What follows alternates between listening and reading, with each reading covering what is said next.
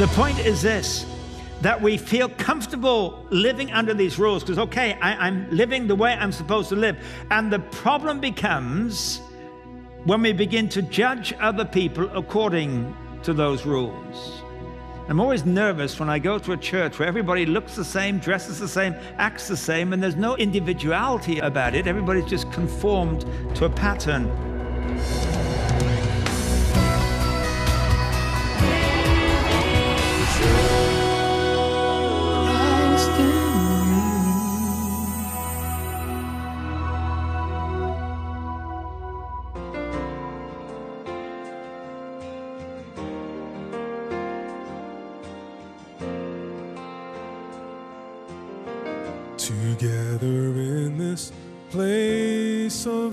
Worship, your greatness we proclaim.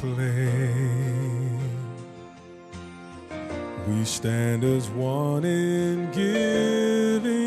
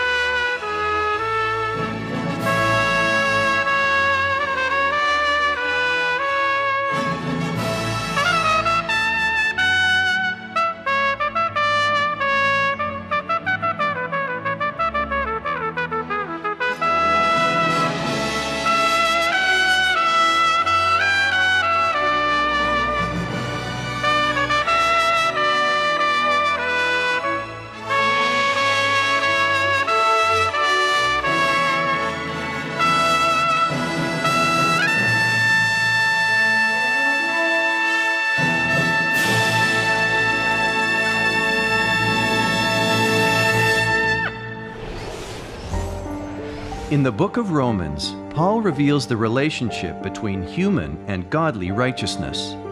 While it's important to understand the teachings inside the pages of Romans, it's life saving to put them into practice. Today's message is called Handling the Problem of Sin. Good morning. But I want to look into Romans chapter 6 this morning. And in so doing, when the angel Gabriel said to Joseph about the birth of Jesus, he will save his people from their sins. Why is sin such a difficulty for us? And why do we go on battling with sin through this life? And Romans 6 addresses this. Let me read it to you. What shall we say then? Shall we go on sinning so the grace may increase? By no means. We died to sin. How can we live in it any longer? Don't you know that all of us were baptized into Christ Jesus were baptized into his death? We were therefore buried with him through baptism into death, in order that just as Christ was raised from the dead through the glory of the Father, we too may live a new life.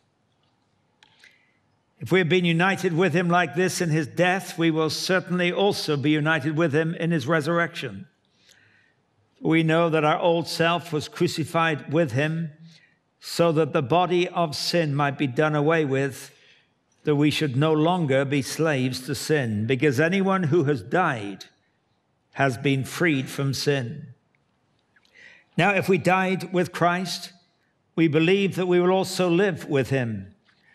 We know that since Christ was raised from the dead, he cannot die again. Death no longer has mastery over him.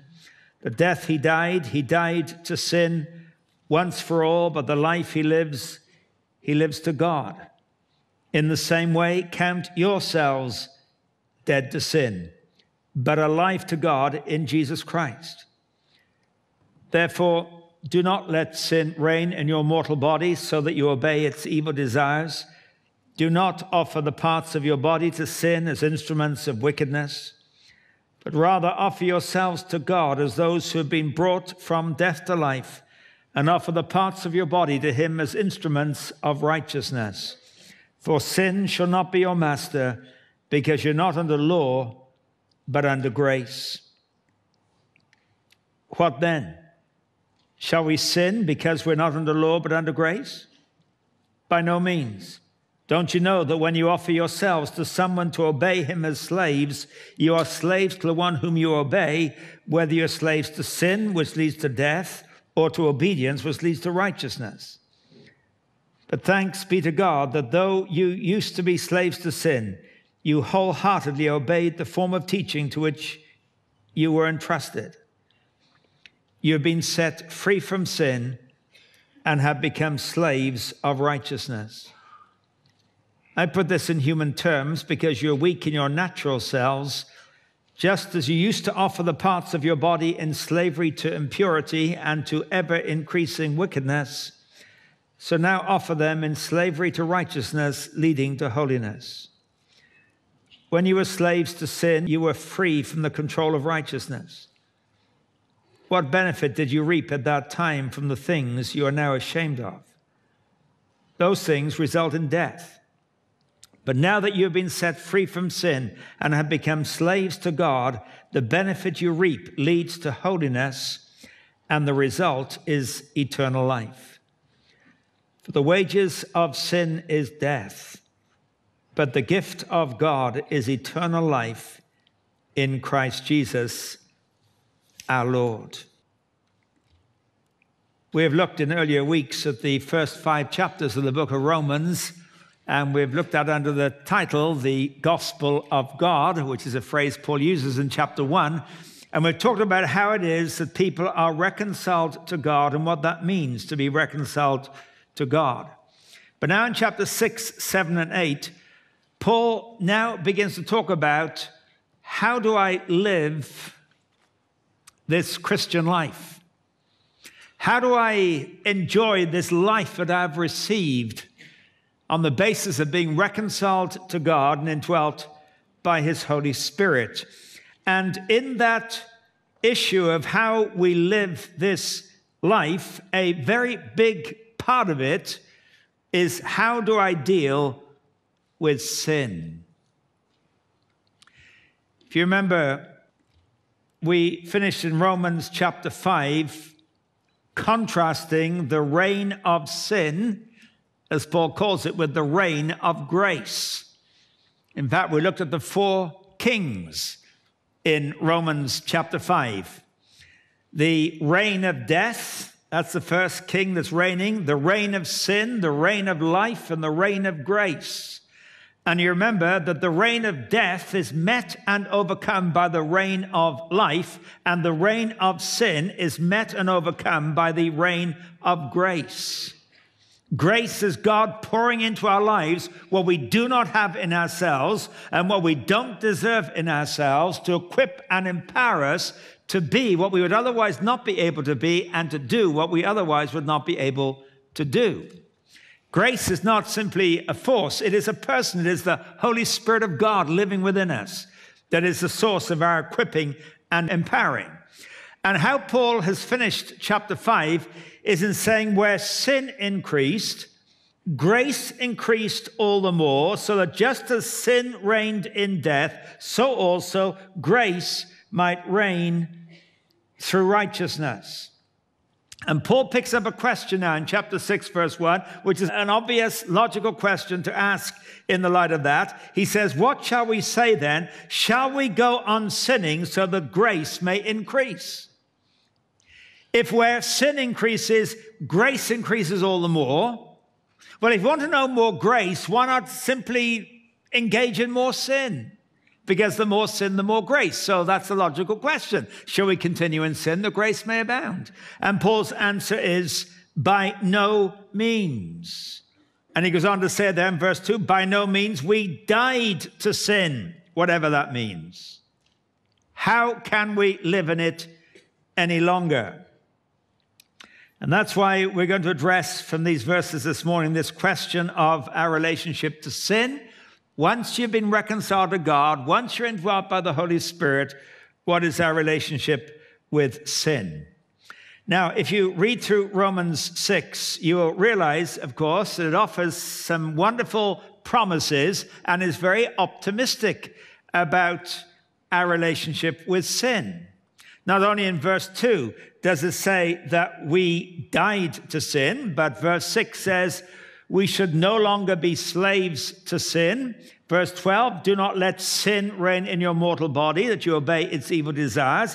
Verse 14, sin shall not be your master, because you're not under law but under grace. Verse 17, though you used to be slaves to sin, that's past tense.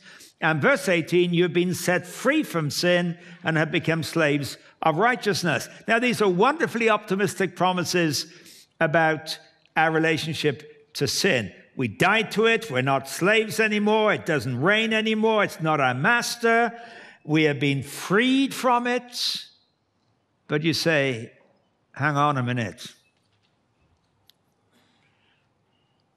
I find myself day after day battling with sin, with temptation. And so we do. And when we go on into chapter 7, we will discover that that is the normal, expecting experience of every believer. That there is a law of sin that fights against the law of the Spirit of life. He talks about there. So, what does Paul mean here? What does it mean that we have been set free from sin? Well, the context in which Paul gives us this is one in which he also alludes to two wrong responses to sin that Christians can very easily make. One is to try and deal with the problem of sin by legalism. The other is to respond to sin with license. Let me explain those two. Legalism is very easy to adopt it is to conclude now that I've been reconciled to God and forgiven of my sin, my job now is to live life by the rules that God has given to me. And that's very attractive because people feel secure living by rules. It's easy to identify what they are, easy to measure ourselves. But in due course, we find ourselves being bound up in this living under the pressure of what I ought to do and should do and mustn't do and shouldn't do. And it's an externally imposed set of rules. I have known people come to Christ, I've known them become excited about their salvation, I've known them enjoy new liberty and freedom in Christ but slowly, often under the influence of other Christians, in fact, usually under the influence of other Christians, they settle down and conform to a routine of certain behavior that makes them feel a comfortable part of the pack that they now belong to. And their lifestyle is driven by this expectancy. There's certain things I should do, shouldn't do, must do, mustn't do and they become bound by that. Now, of course, we all live in a culture at large, and we all live within a culture of our circle of friends and acquaintances. And as part of a church, no matter which church you belong to, you'll find there's a certain kind of culture that we find ourselves increasingly conforming to. And sometimes it is simply the imposition of things that are not to do with the Spirit of God, but to do with the regulations and rules that we try to live by. And some of these are ambiguous in the extreme, but the point is, we are simply being driven by external rules. I know somebody who, who told me that a couple of decades ago now, he was in Holland meeting with some Dutch Christians and they were lamenting about the worldliness of American Christians, and particularly in the conversation about American Christian women who wore makeup, which Dutch Christians didn't do because that was worldly. And so they're lamenting the fact that the Americans were doing this. And my friend said they were so concerned their, their tears were trickling out of their eyes, down their noses, dropping onto their cigars and rolling down and spilling into their beer. because that's worldly.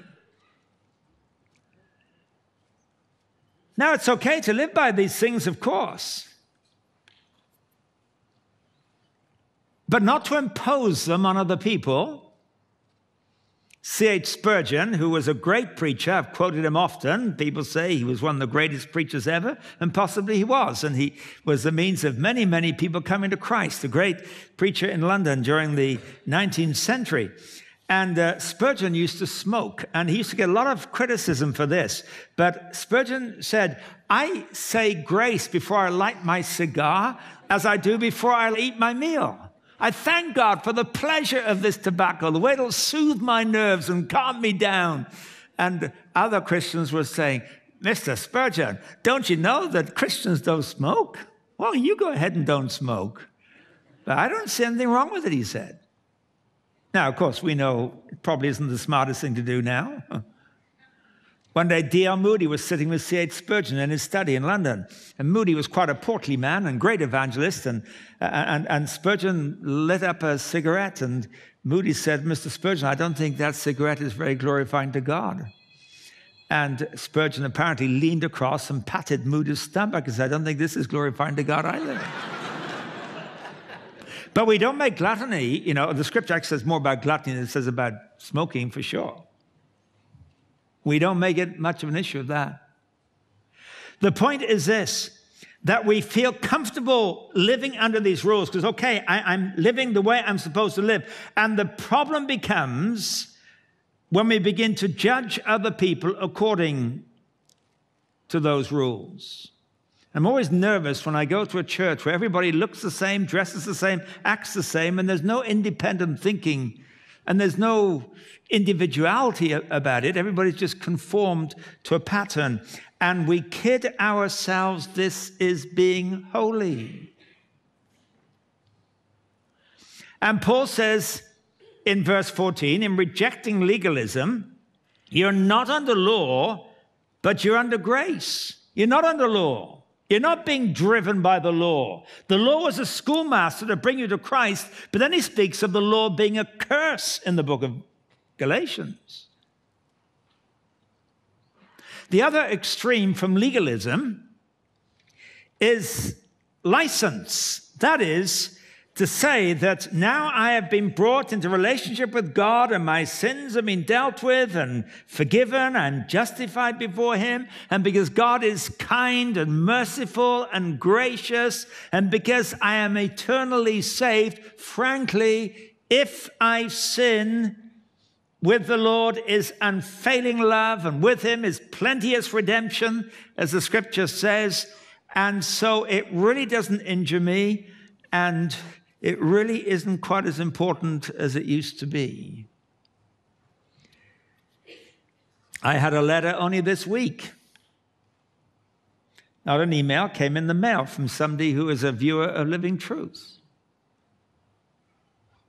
Who's asking me what I thought about this because this lady is in a context where she's been sitting under some teaching that says, because you are justified and because that is irrevocable and because you are safe and secure and because, as Romans 6 says, you have died to sin now because Christ has dealt with it all,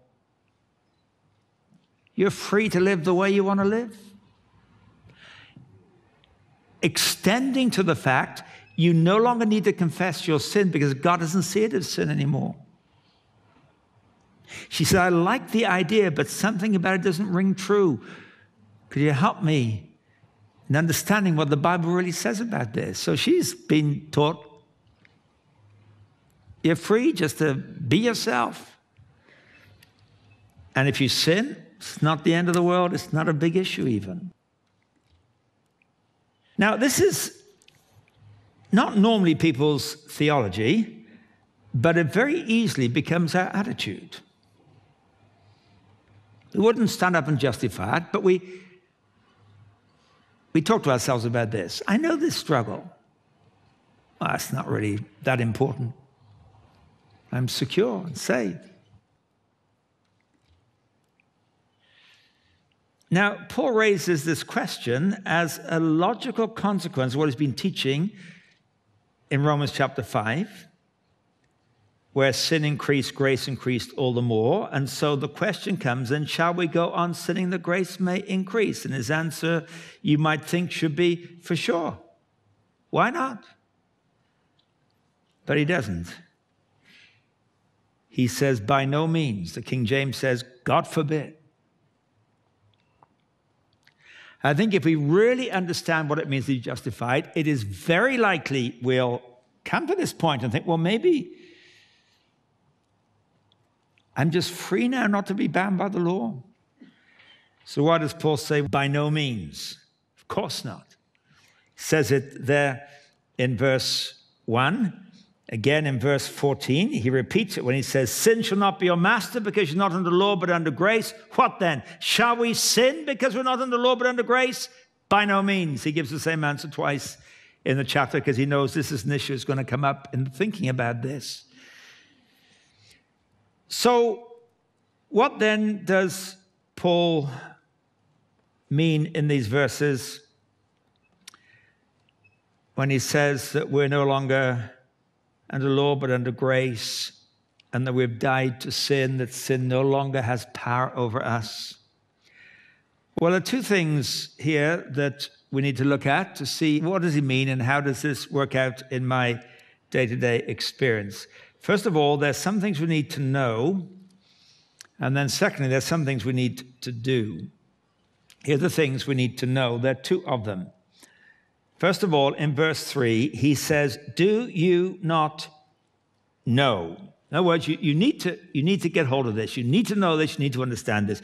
Do you not know that all of us who have been baptized into Christ Jesus were baptized into his death? We were buried, therefore, with him by baptism into death, in order that just as Christ was raised from the dead by the glory of the Father, we too might walk in newness of life.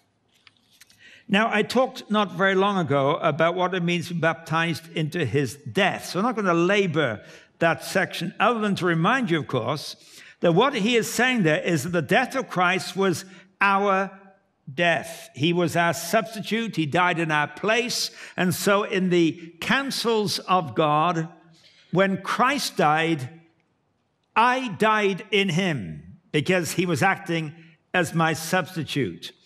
And therefore, before God, I have died for my sin. How come? I died for my sin in the person of the substitute when Christ died for me. And so, verse 5, we have been united with him in his death. Verse 6, we know that our old self was crucified with him so the body of sin might be done away with. And then in verse 11, in the same way, count yourself dead to sin but alive to God in Jesus Christ. So, so, what does he mean? Well, verse 7 helps us understand. The one who has died has been set free from sin.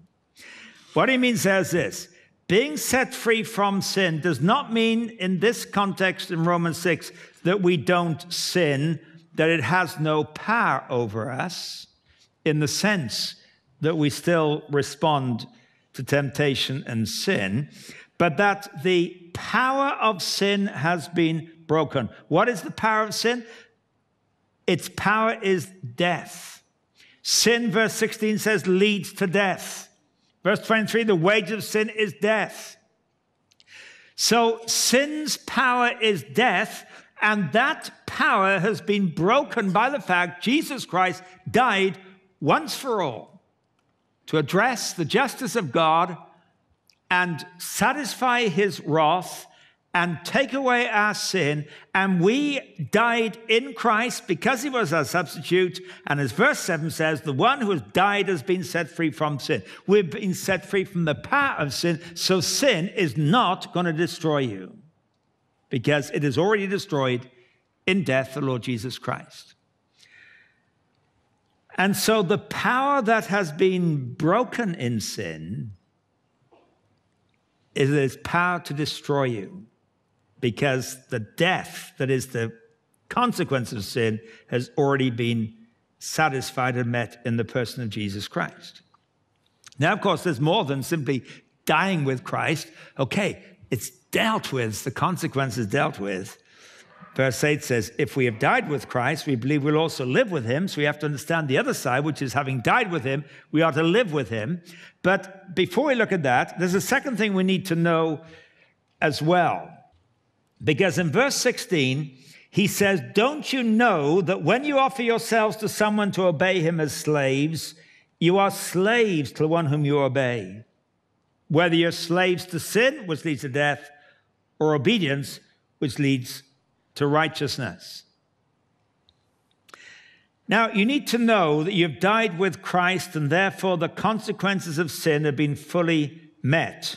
You need to know that. Don't you know that, he says? That frees you from this burden of what's going to happen to me. But don't you know also that having been freed from the power of sin, which is death, that if you offer yourself to sin, you will become a slave of it in the life that you live. But if you offer yourselves to God, you become a slave of obedience, which leads to righteousness.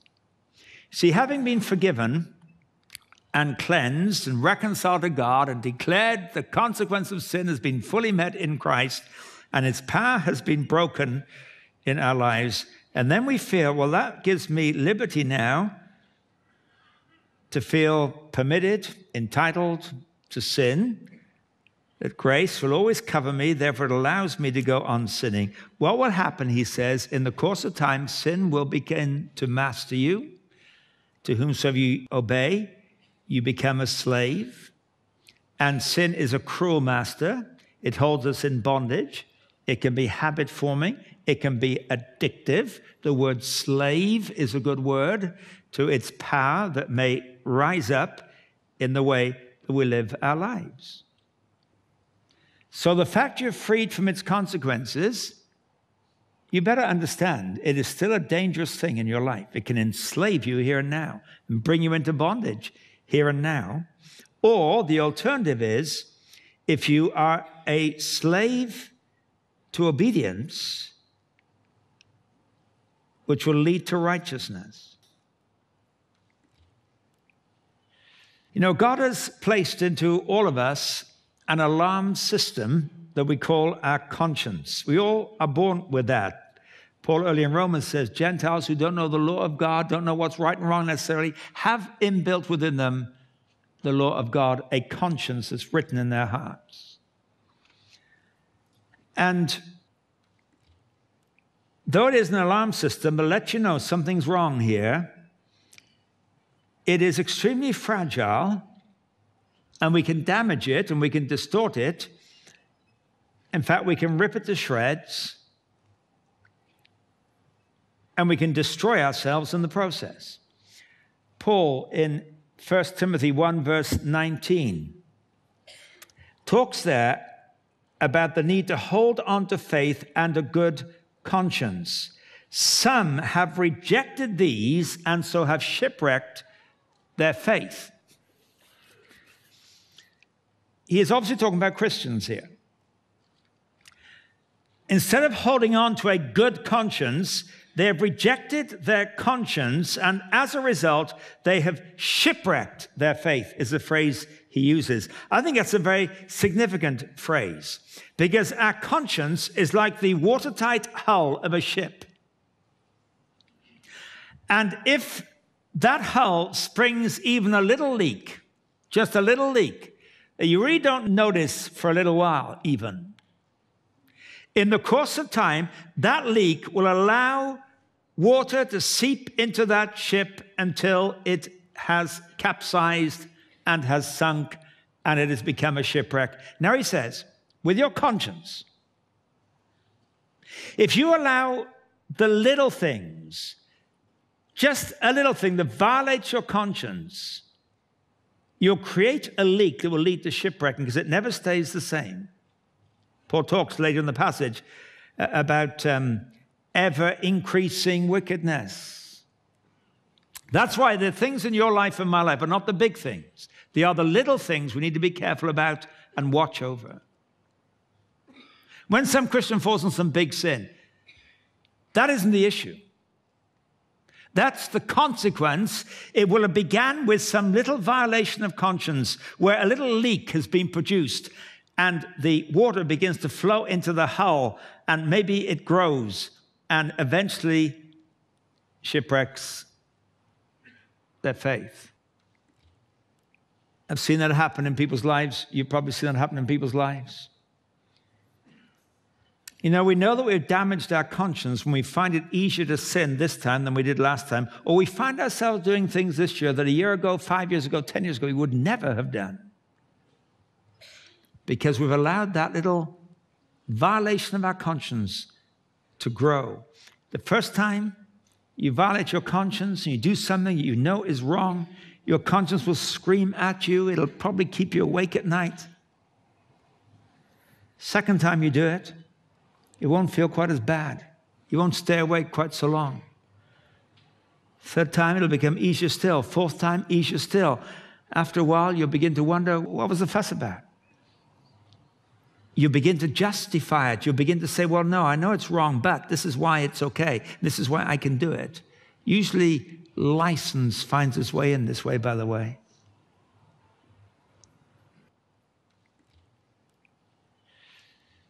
They have rejected conscience, Paul said there, and shipwreck their faith. And as verse 19 says here, just as used to offer the parts of your body in slavery to impurity and to ever increasing wickedness, so now offer them to slavery, in slavery to righteousness, leading to holiness. Let me tell you something. If you tolerate any particular sin in your life today, it'll be bigger next year. It will be bigger. You won't hold it as it is. Well, this is my pet little sin, you know, and nobody knows about it anyway, and I can handle it. And it, it, you can't. It will grow, it will develop, it'll take on a life of its own, it will enslave.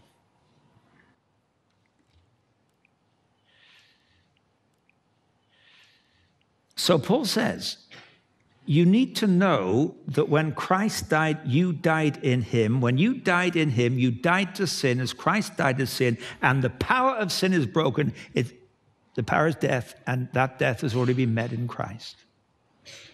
So, as far as your eternal security is concerned, you're safe. But the second thing you need to know is that whatever you offer yourselves to, you're going to become a slave, either sin or obedience resulting in ever increasing wickedness or resulting in ever increasing holiness. The godliness of your life. You need to know that. And on the basis of knowing that, says Paul, there's also some things we need to do. We don't just passively sit back. We need to do verse 12 and 13. Actually, it begins with something we do not.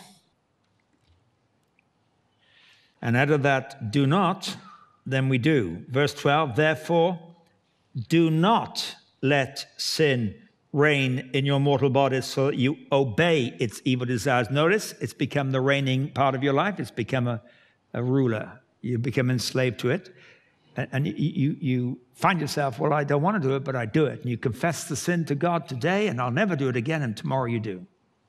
Why? Because you have become in bondage to it. So do not let sin reign your mortal body that you obey its evil desires.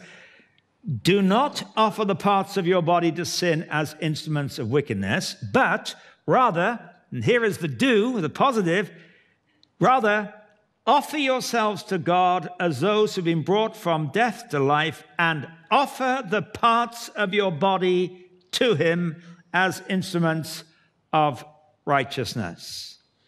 The negative do nots are only possible as they are replaced by the positive do's.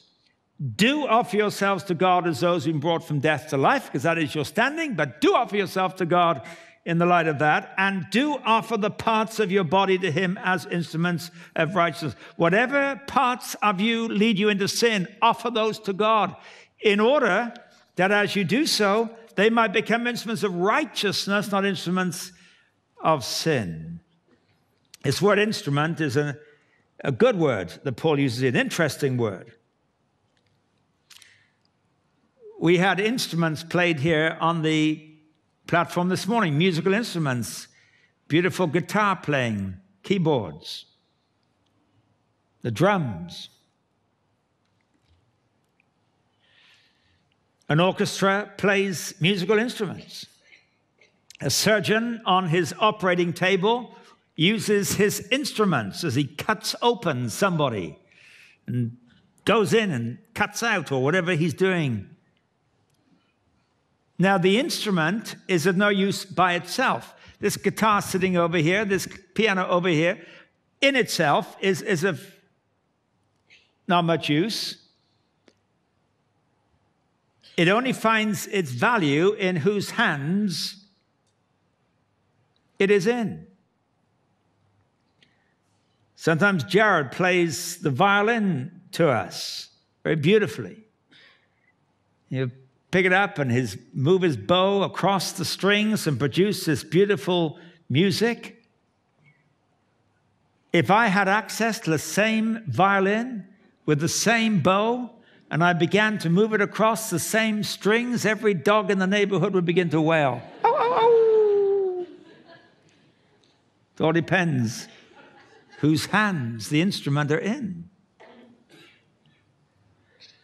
If a surgeon takes his instruments on his operating table and performs some delicate microsurgery, or he does a bypass operation on a patient with incredible skill, and we admire it. If I was to take those same instruments on the same table with the same patient, within a few minutes he'd be dead on the table. I've cut the wrong things. Instruments need a skilled user. Now, says Paul, think of yourself as an instrument. Think of the members of your body as instruments. As an orchestra has a variety of instruments, as a surgeon has a whole tray of different instruments. So think of yourself as instruments to be either if you yield to sin and give yourself to sin, you'll become enslaved and it'll be destructive in your life. It'll be ever increasing wickedness. Or you wean yourself from your sins. I know that sometimes takes a process. And you offer your life, you offer the parts of your body, he says here, as instruments of obedience, which leads to righteousness, which leads to holiness.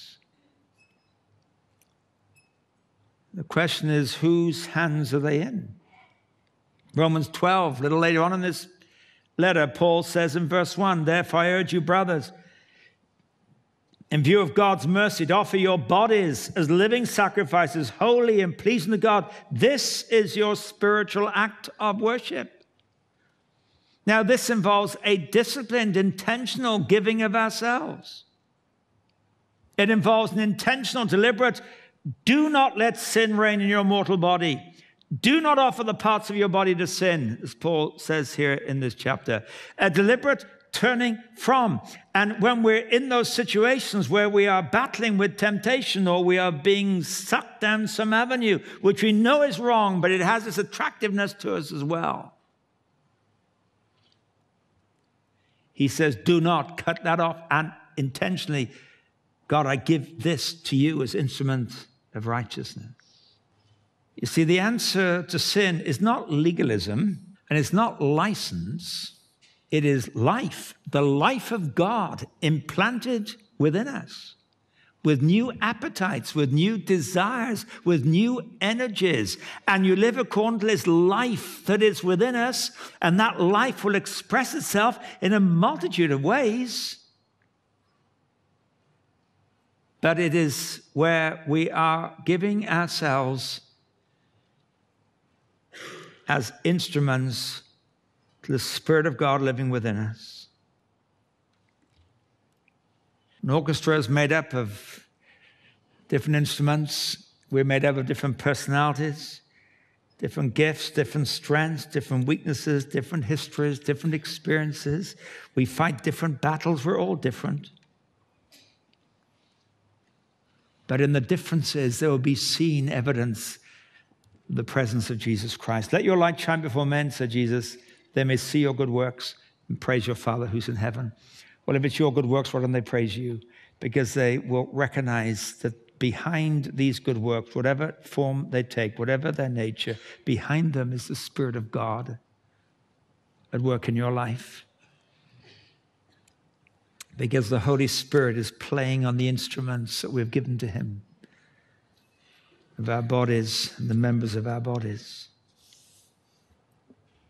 So, what he's saying here is this you need to know that when Christ died and you were united to Him and you were baptized into His death, you died, and therefore the power of sin is broken because the power of sin is death, and death has been paid fully, and you're no longer under sin. You're no longer under the power of sin. Its course that leads to death has been broken. But though you need to know that, you need to know that you've got to take the members of your body and present them to God as instruments of righteousness. And to do that is a disciplined, day by day, fresh in every situation, at every fork in the road. Lord, I give myself to you.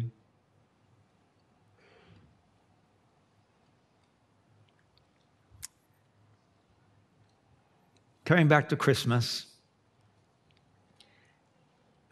Paul uses in verse 19 the phrase that you offer the parts of your body in slavery to impurity and to ever increasing wickedness. That is what will happen if you submit to sin, become a slave, and it's ever increasing. In speaking of the coming of the Lord Jesus Christ at Bethlehem, in Isaiah chapter 9 and verse 6 For unto us a child is born, unto us a son is given. The government will be on his shoulders. He'll be called Wonderful Counselor, Mighty God, Everlasting Father, Prince of Peace, and the increase of his government and peace. There will be no end. If there is never increasing wickedness, if you yield to sin, there is an ever increasing governance of God as we yield in obedience. Both are increasing, both are growing. We're never static. We won't be the same way next year, this time that we are now. We will either be ever increasing godliness or ever increasing wickedness. You cannot deal with this by legalism, imposing laws from the outside. It's the Pharisees tried to do. They were well motivated. But the holiness that begins inside, they had transferred to the outside. So it became not doing this, not doing that, not doing the other thing. And Jesus said, You're like whitewashed sepulchre because you look good on the outside, inside you're dead bones. You're like a cup that looks washed on the outside, is washed on the outside, looks good, people are impressed, the neighbors like you. But inside, you're full of greed, you're full of self indulgence, you're full of lust, you're full of all kinds of things and you've never honestly faced those things inside you and brought in the inside those things to Jesus Christ in ever increasing surrender. I give the parts of my body to you as instruments of righteousness. We battle. We're not promised we're going to be victorious all the time. This keeps us humble. This keeps us dependent. Any man says he has no sin, he's deceiving himself. But if a man sins, if we sin, we confess our sin, he forgives.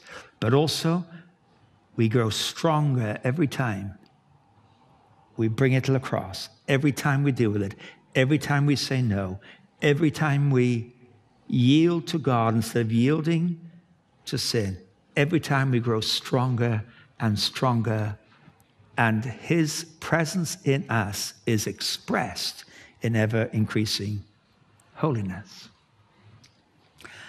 That, I think, is the message of Romans 6.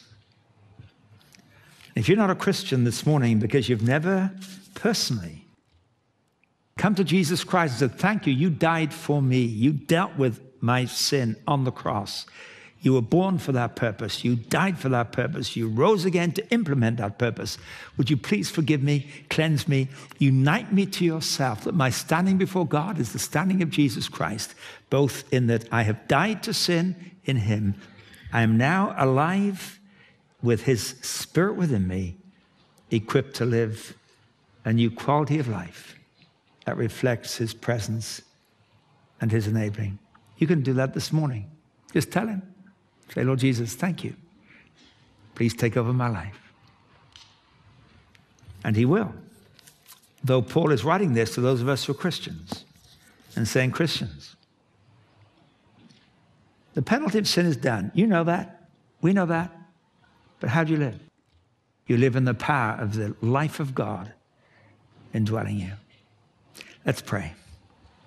Father, we thank you this morning that you are sufficient for us. Just forgive us, we pray again, that we don't align ourselves, our spirits, our hearts with yours. We pray that you'll help us to take seriously the do not yield to sin and become its slave, and to take so seriously the do offer your body the members of your body as instruments of righteousness, that your character and holiness may increasingly grow in us. For we pray it in Jesus' name. Amen.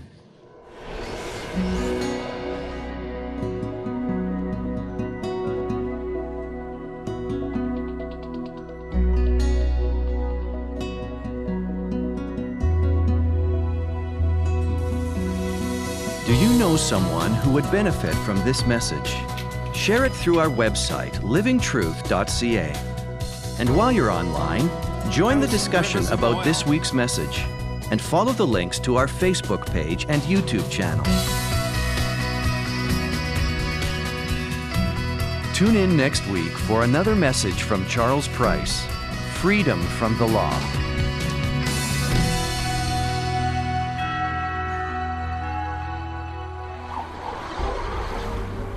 In the book of Romans, Paul reveals the relationship between human and godly righteousness. This union between biblical principles and everyday life illustrates the importance of both what we believe and how we live out those beliefs. Does your daily life truly reflect your biblical beliefs, or do you find yourself in a constant battle of double standards?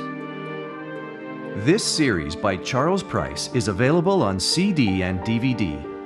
Learn at home, give to a friend, or plan a group Bible study. To order this series, write to the address on your screen or call plus 1 416 222 3341 extension 113. To order online, visit livingtruth.ca. While it's important to understand the pages of Romans, it's life saving to put them into practice.